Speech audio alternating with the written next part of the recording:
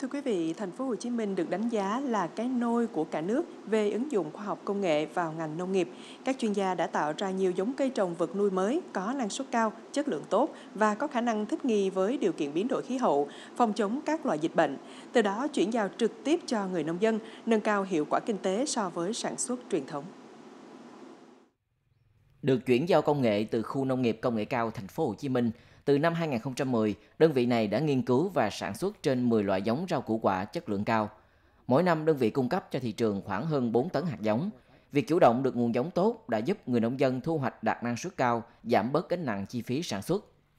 Cái hạt giống mà tôi mua để mà sản xuất xuất khẩu cho Nhật đó thì giá rất là cao và đôi khi thì lại là không có hàng.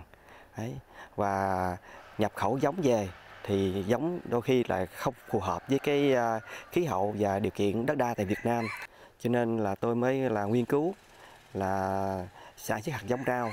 để à, trước mắt là um, phục vụ cho cái nhu cầu sản xuất của mình đồng thời là bán cho bà con nông dân để, để giúp cho bà con nông dân là có um, có được một giống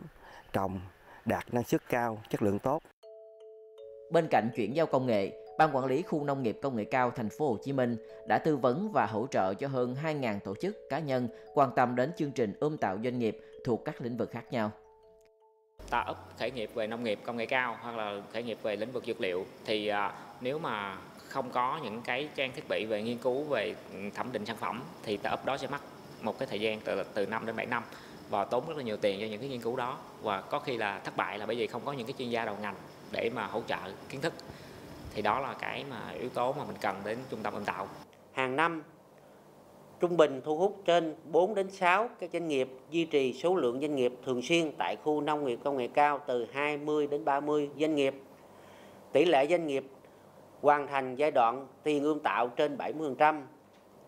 Tỷ lệ ứng dụng các nhiệm vụ nghiên cứu khoa học, công nghệ, đề tài sản xuất, thử nghiệm trên 60% tổng số lượng đề tài nghiên cứu đã được phê duyệt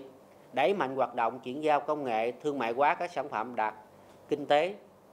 từ 3 đến 5 tỷ đồng trong một năm.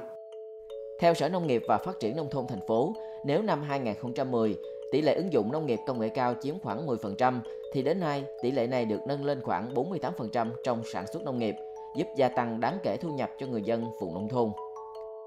Công nghệ sinh học là một cái công nghệ nền tảng của cái việc phát triển về giống và cũng như là đây là cái công nghệ nền tảng của cái việc ứng dụng à, trong cái việc sản xuất là cây trồng, vật nuôi và thủy sản. À, cho nên chính vì vậy mà à, trong cái việc gắn kết à, phát triển về nông nghiệp ứng dụng công nghệ cao thì công nghệ sinh học chính là một cái điểm nhấn đặc biệt quan trọng